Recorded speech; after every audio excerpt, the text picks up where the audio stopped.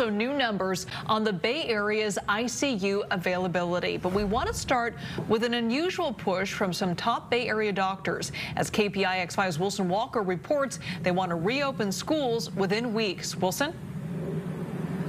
Liz, we have had one discussion about vaccinations in California. We've had another very long discussion about when children should go back to school. These two discussions have been sort of dancing around each other for a long time. They are about to run into each other now.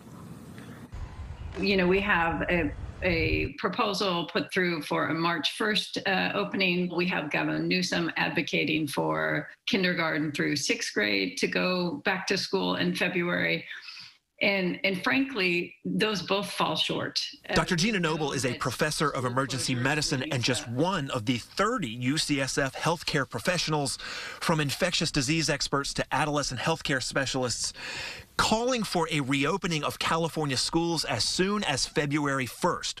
They say 10 months of lost learning and the mounting social isolation caused by school closures outweighs the risk posed by reopening.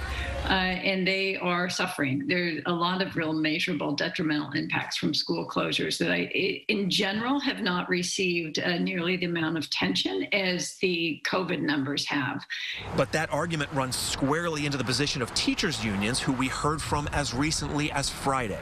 I know that this is not good for any child, but I also know that it's far worse for a child to lose a parent or lose a grandparent that takes care of them.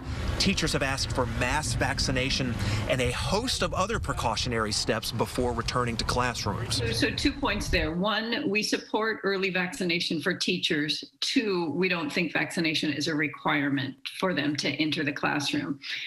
And the reason is is that schools are can be operated safely and we have a lot of data on that.